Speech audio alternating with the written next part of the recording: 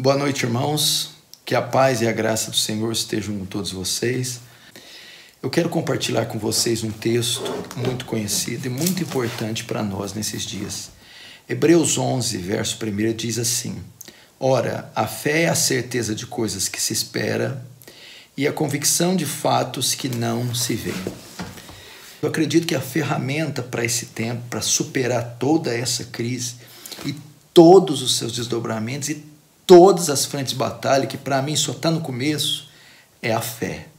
Nós vamos precisar agora, como nunca, exercitar a nossa fé, a dependência do Senhor, a confiança na providência, na misericórdia, a confiança no poder, na ação miraculosa, benevolente de Deus, a confiança nos seus livramentos, a confiança na Sua Santíssima Palavra.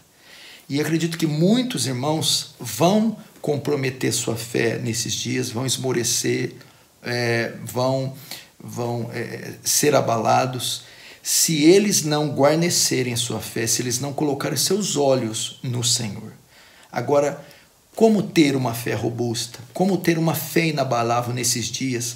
Como ter uma fé que, que nos traga recursos para atravessar tudo isso de pé?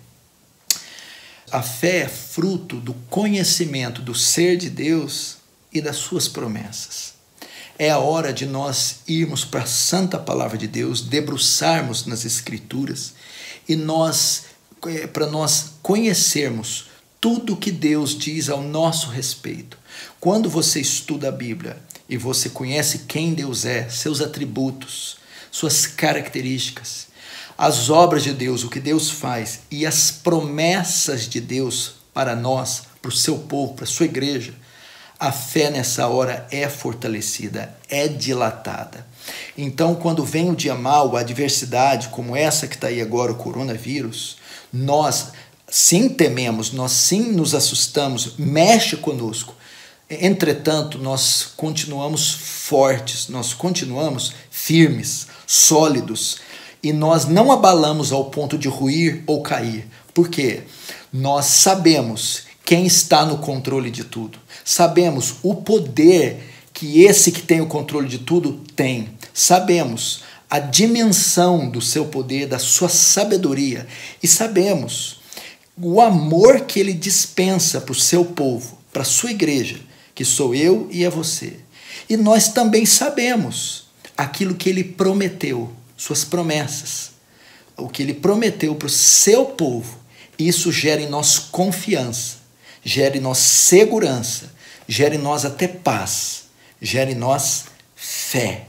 E essa fé em Deus e nas suas promessas nos fortalecerá nesses dias e nos ajudará a atravessar todo esse período. Então, meu, meus irmãos, a, a ferramenta necessária, essencial para esses dias é a fé. Recorra à palavra de Deus imediatamente.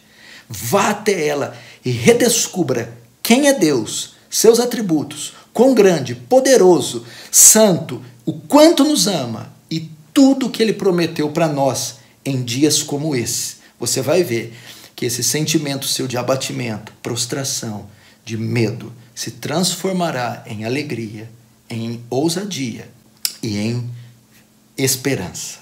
Amém? Deus abençoe, um forte abraço.